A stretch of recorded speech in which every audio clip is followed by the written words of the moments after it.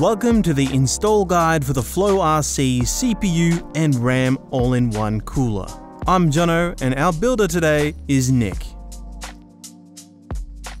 We're using an AM4 motherboard today, but if you're using Intel, it's much the same and we'll be sure to let you know where it differs.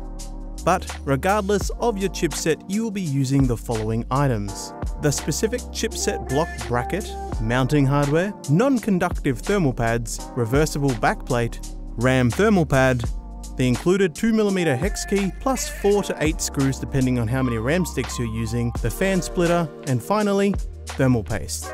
As Nick shows here, the backplate included with the Floe RC is reversible, with one side for AMD and the other side for Intel. Nick begins by applying the non-conductive pad to the side that says AMD on it. If you're running with Intel, simply flip it over to the other side and stick it on that side instead. Ensure you place the pad carefully in the center of the backplate. The thermal pad is to ensure there is no metal on metal contact with the motherboard and the backplate, so this is a pretty important step. Now it's time to grab the four long backplate screws. Mount these screws in the specific mounting pattern and location, which is determined by the chipset you're using. You can find this out by checking with the Floe RC manual. The screws have a flat side and a round side to their head, which ensures they stay in place and it means you can't really install them wrong. Also, ensure to place a washer on the inside of the backplate as this helps to lock the screw tightly and balances out the offset of the backplate. Now go ahead and install the other screws.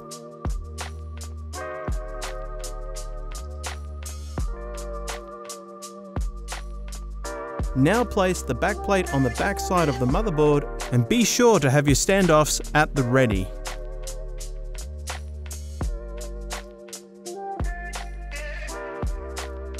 If you're not sure what they are, this is what they look like. Thread these onto the other side of the screws, ensuring they're on nice and snug. To know they're on properly, there should be no play once these slide onto the screws. You can now grab the Floe RC itself. It's time to get ready for mounting. To prep the CPU water block, first you need to get the chipset specific block bracket. Nick uses this one as it's for AMD, so remember to check you are using the right bracket for your chipset. Slide the bracket onto the CPU water block. This may take some effort and can be a bit finicky, so don't stress if it takes a bit of finagling. Now it's time for everyone's favourite part of the PC build, thermal paste. Apply it to the water block in your style of choice, and remember, a little goes a long way.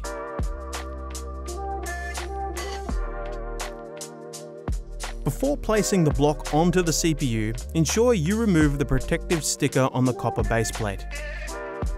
Align the water block and the attached bracket with the mounted screws we installed earlier to the base plate and press down firmly. Once your block is on, grab the silver locking screws and screw them in with your fingers first, inserting them in a cross pattern to secure the block.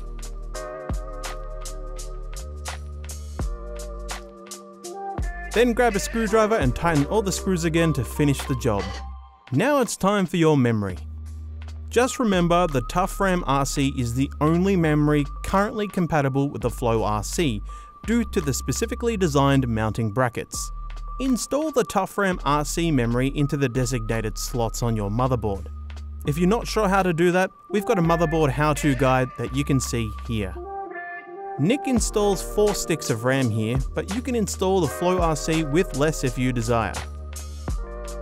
After you've popped your RAM into their slots, it's time to grab the RAM water block thermal pad.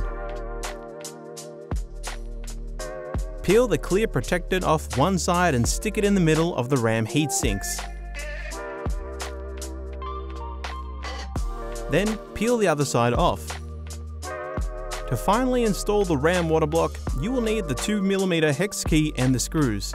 Maneuver the RAM water block atop your RAM and line it up with the mounting holes. Then screw in all of the hex screws and ensure they are nice and secure. After this, all that's left to do is screw your fans onto your radiator and then screw that into your case somewhere. If you want to know how to install an all-in-one, you can check out this video here. Now you are on to the final step, which is to hook up your RGB lighting and get some power to the Floe RC. You remember that 3 fan splitter Nick showed off earlier? Connect the female end to any 3 or 4 pin fan headers on your motherboard.